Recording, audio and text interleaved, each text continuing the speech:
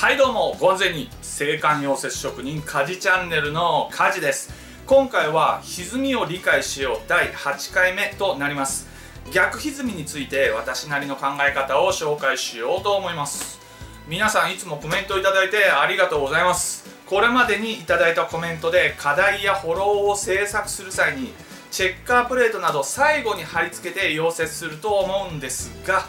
高速して溶接しても歪んでしまいます。どうしたらいいのでしょうか？というようなコメントがいくつかありました。実際に撮影できれば一番分かりやすいのですがなかなか難しいです。座学のような動画にはなりますが逆歪みを取る時のコツやどうして逆歪みを取ると結果的に歪みが少なくなるのか注意点など図などを使ってなるべく分かりやすく解説しようと思います。最後までご視聴ください。そしてこの動画を見つけてくれてありがとうございます。あなたのコメントチャンネル登録高評価など皆さんからの反応が私のモチベーションです。質問感想何でもいいのでコメントいただければ幸せます。それでは早速いってみよう。今回は逆歪みとはどういうものなのか。逆歪みはどのようにすれば効率的なのか。注意点など私の経験から私がよく使う2種類の逆歪みについてなるべく分かりやすく解説していこうと思います。まず最初に逆歪みとは何なのかを説明しておきます。溶接用語で逆歪みを検索するとこのように書いてあります。溶接を行ったことによって溶接部材に生じる変形溶接歪み。の変形量を予測して逆方向に与えておく歪みのことです。と説明があります。つまり溶接して歪む方向がわかるのであれば先にその反対方向に歪ませておけばいいんじゃね？ってことです。使い方によってはとても有効だと思っています。逆歪みと一言で言っても今回ご紹介する2パターンは一部分です。他にもいろいろな逆歪みの取り方があることも知っておいてください。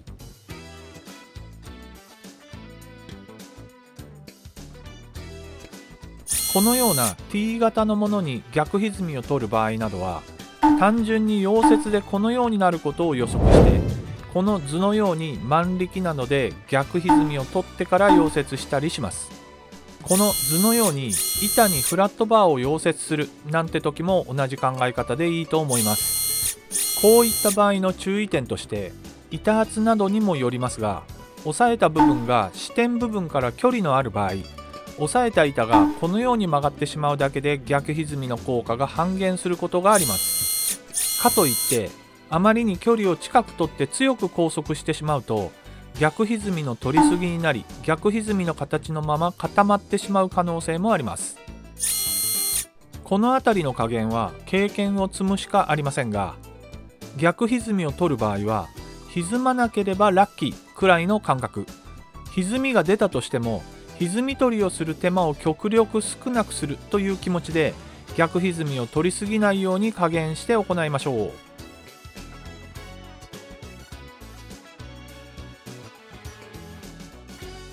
次に逆歪みを解説する例としてこのような一般的な課題やフォローなど長方形のチャンネルなどの枠の上に板やチェッカープレートなどを溶接する場合を考えます。よくあるパターンですよね。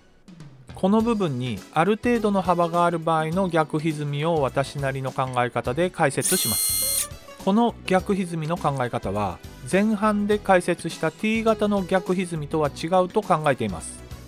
このような長方形の枠を歪みなく製作できたとしても最後に板を乗せて溶接すると曲がってしまいます。サイズが小さいものだと歪みはあまり目立ちませんが長いものになると板やチェッカープレートを溶接した方向に反り返ってしまって反対側を焼いて縮めて歪みを取らなければならなくなります。こういった場合は定板など頑丈で平らなところに拘束しても溶接の熱で縮んだところに応力が残ってしまうために高速を外すとやはり反り返ってしまいあまり効果は期待できません。ではどうすればいいのか。ここで逆歪みの登場です。ただしチャンネルをこのように力で曲げるにはかなりの力が必要になります。当たり前ですが逆歪みの方向に曲がらなければどうしようもありませんので実際には製作する枠が逆歪みに曲がる場合に使えると思ってください。まずは逆歪みはなぜ溶接の歪みに有効なのかを枠の長手方向のチャンネルをこの方向から見て単純化した図で解説します。このチャンネルに逆歪みなどを取らずに板を溶接したとします。するとこのように歪んでしまいますよね。これはなぜなのかというとこの部分の溶接によってこちら方向にも縮みが発生しているからです。つまり溶接する前より溶接後は全長が少し短くなってしまったからです。この距離の差が歪みと言えます。もう少し視覚的に分かりやすく解説するために紙の束を使います。束ねた紙を横から見てみましょう。この紙の束を曲げてみるとこうなります。端の部分はこのように斜めになっています。端の部分が斜めにならないように曲げることはできません。つまりチャンネルが歪んで曲がるためには紙の束でいうこの端の部分のこの距離だけ溶接の熱によって全体的に縮んで曲がっているというわけです。実際は金属などを曲げると伸びる部分と縮む部分とがあるのですがここではややこしくなるので縮む部分は無視して考えます。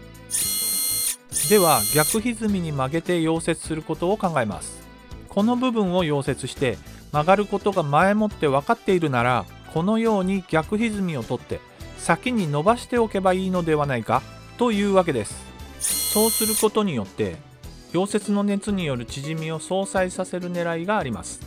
注意点として実際は逆歪みを取った時は全体的に曲がって伸びているのではなく支点となる部分に力がかかっているので分かりやすく極端に書くとこの図のようになり支点から離れるにつれて曲がる力はあまりかかりません。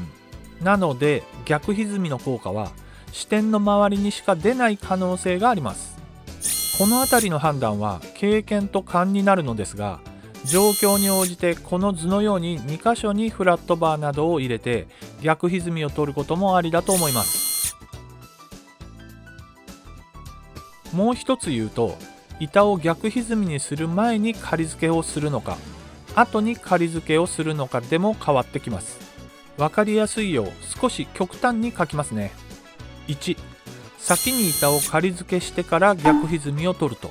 この板は伸びている状態なので元に戻りたいという応力がかかった状態です。2逆歪みを取った後に板を仮付けすると。チャンネルの上側は曲がって伸びていますが板の方は曲がっているだけで伸びてはいません。板自体には縮みたいという応力はかかっていない状態です。逆に言えば板は縮みたくはない状態なので逆歪みに曲がっているチャンネルの形を維持するような力がかかっていることになります。どちらが逆歪みの効果があるかというと2の方が効果的だと言えます。この考え方は応用が効くので逆歪みの一つの方法として覚えておいてもいいと思います。これらの逆歪みを取った時の注意点はもし逆歪みを取りすぎていた場合つまりこの図のようにこの面が溶接の熱により縮むと思って逆歪みを取ったのにあまり縮まなかった場合に焼いて縮めようとするとこちら側の板を焼くことになります。焼いて縮む力がチャンネルに直に伝わりにくく歪みを直すのが難しくなります。板が変に歪んだりする可能性もありますので注意が必要です。逆歪みの程度がわからない場合はほどほどに力をかけるようにして歪む方向が逆転しないよう注意して逆歪みを取りましょう。これまでの歪みを理解しようシリーズの中でも言っていますが熱がかかれば必ず歪みが発生します。あっちもこっちも歪みが出ないようにというわけにはいきません。歪んでないように見えるところも母材そのものの強度などで歪んでいないように見えるだけで縮む力は残留応力として残っています。一番歪みの出やすいところや歪んではいけないところなどを見極めて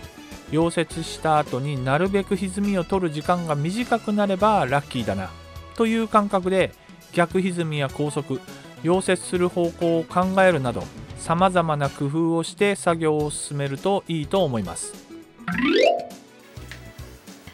はい。どうでしたか？歪みとは何なのかの本質が分かればどのような歪みが出るのかやどのように拘束すればよいのかどこに熱をかければよいのかなどが分かってきます。極力歪みを出さないように溶接することもできると思います。私もまだまだ試行錯誤しながらね仕事をしています。失敗しながら経験を積むその過程で想像していた歪み方を逆歪みなどでほぼゼロにできればこんなに嬉しいことはありません。って思うの私だけでしょうか？私は歪みを直すのがとっても面倒くさくて嫌いなのです。はい。質問感想ありましたらコメントください。チャンネル登録高評価よろしくお願いします。最後までご視聴ありがとうございました。それでは皆さんご安全に。